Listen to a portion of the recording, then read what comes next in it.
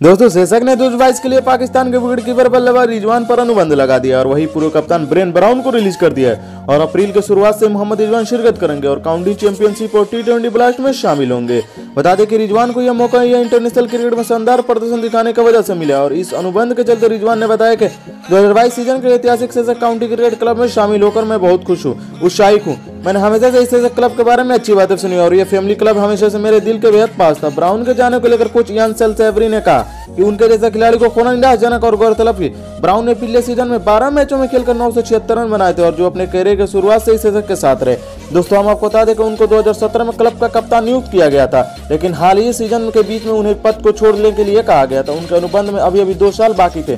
Brown ने अपने बयान में बताया कि जैसे कि मेरे कैरियर को यह अध्याय खत्म हो रहा है। इसीलिए मैं शेषक को अपने उन अवसरों के लिए तय दिल से शुक्रिया करना चाहता हूँ, जो मुझे बाईस के करियर में इनसे जुड़े रहने पर मिले हैं। जहाँ मोहम्मद रिजवान की बात करें तो इंडियन क्रिकेट में उनका प्रदर्शन जारी है और शानदार फॉर्म में है। दोस्तों, हम आपको बता दें, वो आप ओपन करने के बाद आकर लगातार बेहतरीन फॉर्म में खेलकर कमाल करते हैं और वही टी ट्वेंटी क्रिकेट में भी उनका पाकिस्तान को सेमीफाइनल तक पहुंचाना बहुत अच्छी भूमिका निभाई थी।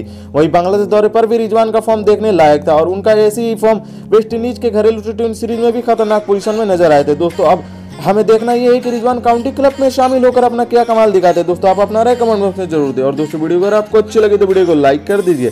चैनल को सब्सक्राइब कर दीजिए बेल आइकन को प्रेस कर दीजिए, क्योंकि ऐसे ही आने वाली हर नॉलेजेबल वीडियो आपको मिलती रहेगी। तो चलिए दोस्तों, वीडियो को एड करते दे तब तक लिए लाइक शेयर एंड सब्सक्राइब ज़रूर कर दीजिएगा।